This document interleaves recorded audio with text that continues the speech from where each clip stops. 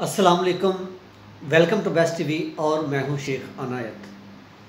तो जैसा कि इराक की तमाम इंफॉर्मेशन आप तक मैं हर वक्त पहुंचाता रहता हूँ और उसी सिलसिले में हाज़िर हुआ हूँ। तो उससे पहले कि जो दोस्त नए चैनल पे आए हैं, चैनल को सब्सक्राइब करें और बेल आइकन को लाजमी दबा दें ताकि जब भी मैं कोई नई इन्फॉर्मेशन लेकर आऊँ इस तरह की तो आप तक सबसे पहले पहुँचे। तो चलते हैं अपने मौजू की तरफ़। आज का हमारा टॉपिक ये है कि इराक में जो कंपनी हैं कंपनीज़ काम कर रही हैं कंपनी का वीज़ा कैसे हासिल करें? तो इराक में जो कंपनीज़ हैं, वो दुबई कंपनीज़ भी हैं चाइनीज़ कंपनी भी हैं और इधर इराक की भी कंपनीज़ हैं। तो उनके साथ कांटेक्ट आप किस तरह कर सकते हैं? उनके साथ अगर आपने कांटेक्ट करना है तो आप, लाहौर जाएँ या इस्लामाबाद में जाएँ, उधर एजेंसीज बहुत सारी एजेंसीज हैं, और किसी एजेंसी के साथ रबता करें। किसी एजेंसी का हम नाम नहीं लेते, क्योंकि नाम, जिस एजेंसी से भी आप रबता करेंगे कॉन्टैक्ट करेंगे, वो आप अपने थ्रू करेंगे और अपनी ज़िम्मेदारी से करेंगे। क्योंकि हम किसी एजेंसी को इस तरह अप्रूव नहीं करते, ना ही बताएँगे कि कल को अगर हो सकता है वो एजेंसी आपके साथ कॉन्टैक्ट सही नहीं करती या कुछ मामला ख़राब होते हैं तो उसके ज़िम्मेदार हम नहीं होंगे। तो इसलिए ये जो इराक की कंपनीज़ के वीज़े होते हैं, वो पाकिस्तानी एजेंसीज़ ख़रीद लेते हैं।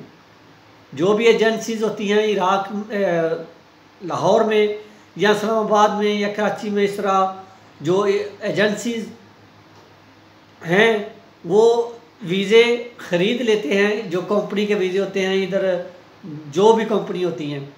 तो फिर वो वीज़े सेल करते हैं उधर उधर पाकिस्तान में। वो कॉन्टैक्ट बताते हैं कि फ़लाँ कंपनी का वीज़ा है, अगर आपने जाना है तो इतने पैसे आपके लगेंगे तो आपको कंपनी उधर बुला लेगी। लेकिन कंपनी से उन्होंने वीज़ा ले लिया होता है। तो वो फिर आपको उस कॉन्टैक्ट पे वो कंपनी के थ्रू भेज देते हैं इराक में और आप इधर आके काम कर सकते हैं।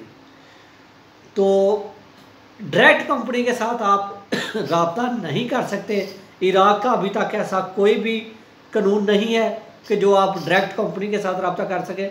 हाँ ये हो सकता है कि अगर आपका कोई अज़ीज़ या कोई आपका दोस्त, भाई या आपका कोई करीबी रिश्तेदार इधर इराक में काम कर रहा है, कोई किसी कंपनी के साथ या किसी करीब कंपनी के करीब तो वो उनके साथ खुद जाके कंपनी के डायरेक्टर से या कंपनी के मैनेजर से वो रबता करके उधर से वो खुद वीज़े ले सकता है।